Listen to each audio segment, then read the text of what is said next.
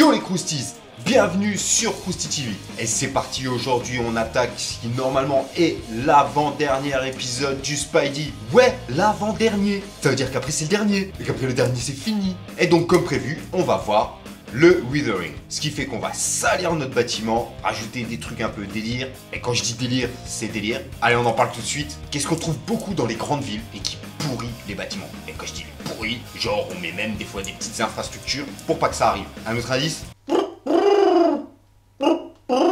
Ouais, je le fais super bien. Bonne réponse du mec du fond. Des pigeons. Des pigeons qui chient partout. Et donc on va voir, et je jure que c'est pas une blague, comment faire de la viande de pigeon sur le bâtiment. Ouais putain on est des déglingos, on est des ouf. On va chier sur le bâtiment. bon pour être honnête, c'était aussi une première pour moi. Donc le résultat est peut-être perfectible. Euh, je pense que je m'en suis pas trop mal sorti en y allant au freestyle. Mis à part ça, j'ai testé un truc, j'ai tout filmé avec deux caméras, donc deux angles de vue, et on switch de l'un à l'autre. Les gars, c'est Hollywood, on a mis les putains de moyens, Hollywood bâtard Et je m'emballe un peu. Donc on y va. Le matériel c'est là-bas. Alors tout bêtement, ben de la peinture et des pinceaux, mais aussi de la colle à bois et de la colle chaude, et pour nos fiantes, donc de la pâte à relief haute densité que j'ai trouvé euh, chez Cultura. Non, pas de placement de produit, bref, n'importe quel magasin du genre, ça ressemble à ça. Après, je pense qu'un euh, enduit fait maison, ça fait aussi l'affaire. Et donc je commence déjà par une arnaque parce qu'on va pas faire du withering mais on va déjà assembler le bâtiment avec la base. Oui, on l'avait pas fait encore. Et au cas où, même si ça paraît facile et simple, je préfère quand même vous le montrer comme ça on ne le reprochera pas. Donc on met de la colle sur les parties qui vont être fixées sur la base. On pose là où ça doit se trouver avec précision et délicatesse. Et pour renforcer le tout, un petit coup de colle chaude là à l'arrière au niveau de la jointure pour que ça tienne bien. Alors sois pas con, t'en mets pas derrière les vitres parce que ça va se voir et ça va faire dégueulasse. Mais oui, ça semble évident, mais on sait jamais.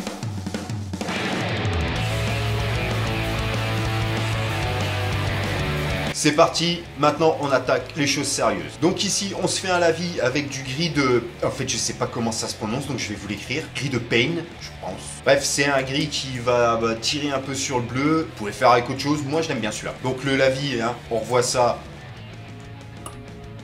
cet épisode. Ouais, c'était au tout début. Non, j'ai pas honte. Mais ouais, c'était pas vraiment ça. Il faut bien commencer. Et donc, avec notre lavis et l'aide d'un pinceau, pinceau en poil de pinceau, tu peux le faire aussi avec tes poils de tub, mais euh, je sais pas si tu auras le même résultat. Donc, on va marquer les salissures dues aux intempéries et à la pollution. Tout concept du withering. Donc, pour ça, il n'y a pas de truc euh, vraiment. C'est du bon sens sur comment ton bâtiment va se salir hein, avec, euh, avec donc, les intempéries et la pollution. Si tu sais pas comment faire, je t'invite à aller dehors, regarder de vrais bâtiments, ou sinon, j'en ai déjà parlé plein de fois, mais Google Images, tu regardes, hein, et puis tu fais des trucs dans le même délire. Donc en général, ça fait des sortes de, coulures, mais pas vraiment des coulures, mais bref, qui suivent la gravité, enfin... Tu, vois ce que je vais dire, si tu as des photos où tu as été voir, ou sinon bah, tu regardes en fait comment je fais là. Et dans ce même délire, donc, euh, donc ouais, en fait, je sais pas trop comment l'expliquer. voilà, un peu comme je fais, voilà, tu regardes là, comme je fais là, ou ou sinon, tu peux faire aussi n'importe quoi, moi je m'en fous. C'est ton duo. Ouais, comme c'est long, je meuble, raconte des conneries. Hein. Euh, sinon, tu peux couper le son à ce moment-là et puis passer à la euh, remettre à la prochaine étape. Hein. Moi, c'est juste pour te faire un petit peu d'animation pendant que tu regardes ça. Bah, en attendant, moi, je. Faites signe quand on à la suite.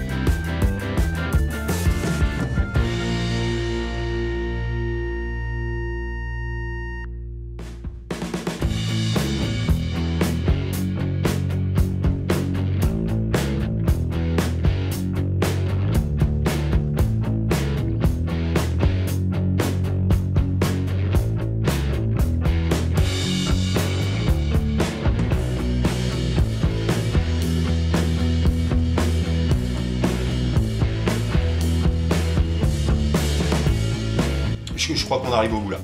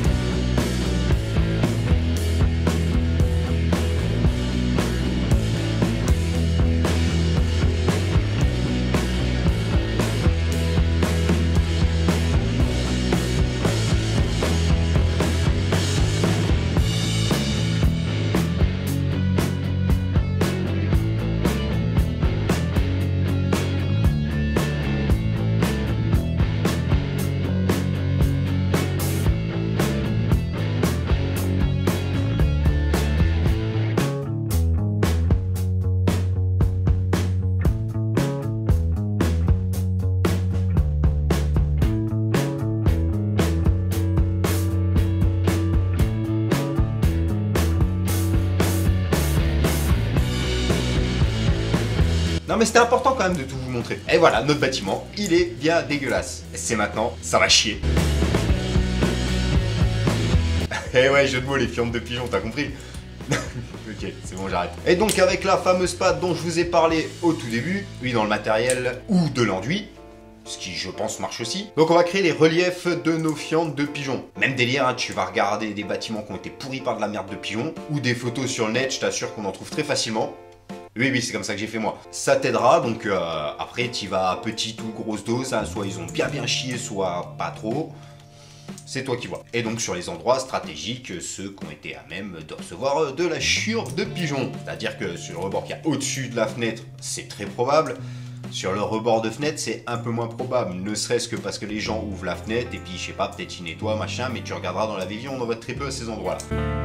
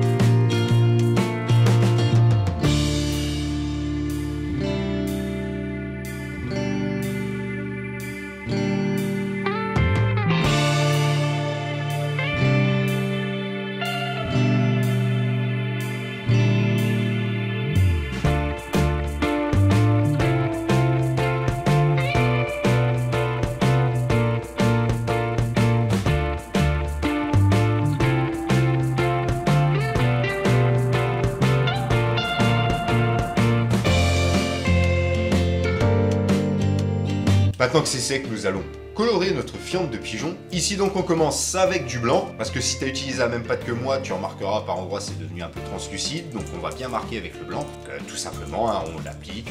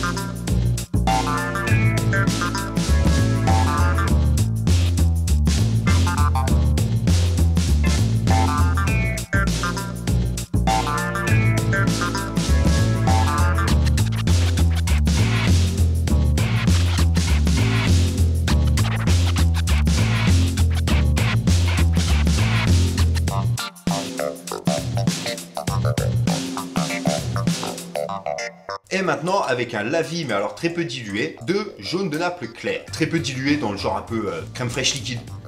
Tu vois le délire Plus épais mais il n'y a pas non plus de la crème fraîche. Euh, c'est la crème épaisse. Donc là, on va rajouter un petit peu de jaune. Alors, pas partout, on va pas tout recouvrir, mais en grande partie. On va dire à 80-90%. C'est con, ça se voit pas trop bien sur les images parce que la différence de teinte, elle est infime. Encore une fois, tu t'inspires des vraies fientes de pigeons. Bref, pour jaunir euh, par endroits et surtout quand on se rapproche du centre du tas de merde. C'est ouf comment je parle très sérieusement de de de pigeons. C'est pas normal. On est en train de faire de la merde de pigeons. Enfin bref.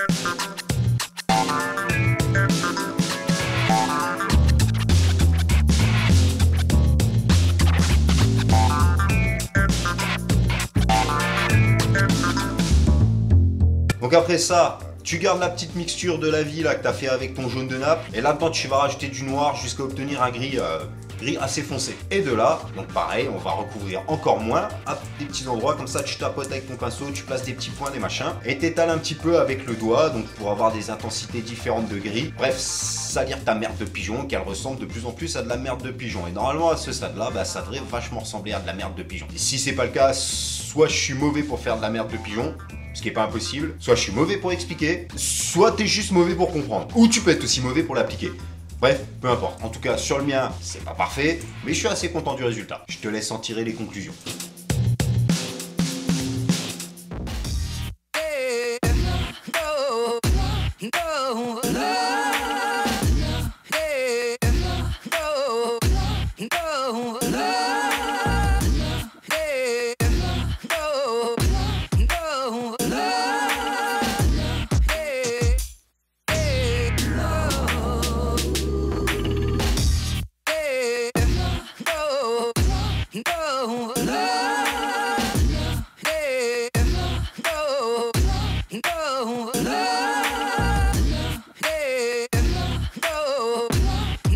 Et donc voilà, ça en est fini pour notre leadering. On a bien pourri notre bâtiment. Ouais, ce qui dit comme ça, ça met pas en confiance, mais en fait on l'a pourri pour le rendre cool. Bref, vous voyez l'idée. Ce qui nous fait que par conséquent, au prochain épisode, eh ben on attaque la finition. Alors j'en vais déjà dire, mais qu'est-ce que c'est la finition? Qu'est-ce qu'on va faire d'autre? Eh ben tu verras, je vais pas spoiler quand même. Donc on verra ça en temps voulu. Sinon, comme d'hab, vous n'hésitez pas, le pouce bleu, le pouce rouge, le petit commentaire qui va bien. Et sinon, comme d'habitude, c'est pas déjà fait, tu t'abonnes. J'insiste, tu t'abonnes. Et vous nous retrouvez sur les réseaux sociaux.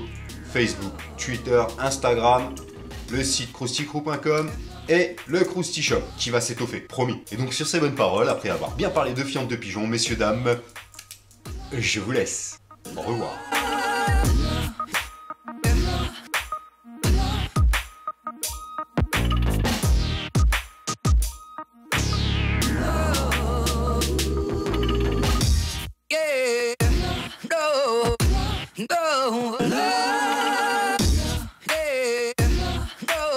Alors peut-être que certains attendaient des retours de la Japan Expo, mais je peux pas vous en donner. Là, au moment où je tourne, en fait, c'est pas encore passé la Japan. Donc je sais pas si s'y est passé. Donc je peux pas en parler. Je vois que t'es chiant, toi, tu veux vraiment savoir. On est le 24 juin. Voilà. Ciao